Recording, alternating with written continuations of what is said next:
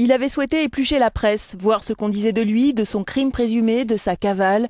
Luca Rocco Magnotta a été identifié dans ce cybercafé de Neukölln, quartier populaire de Berlin. Interpellé, il n'opposera aucune résistance. Le Canadien avait quitté Paris jeudi en bus destination Berlin. Un embarquement enregistré par les caméras de surveillance de la gare routière de Bagnolet. Les policiers allemands étaient donc à l'affût. Il est entré dans le café, il a dit qu'il voulait aller sur Internet. Je lui ai dit de s'installer au poste numéro 25 et c'est à ce moment-là que j'ai eu l'impression de l'avoir vu quelque part. Et j'ai réalisé qu'il était recherché par la police. Je n'ai pas téléphoné, je suis sorti et j'ai intercepté des policiers et ils sont entrés dans le café pour l'arrêter.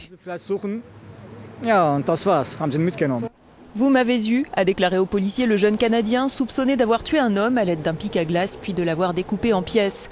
La victime de ce meurtre sadique, Junlin, était un étudiant chinois avec qui, selon la police canadienne, Magnotta semblait avoir eu une relation sexuelle.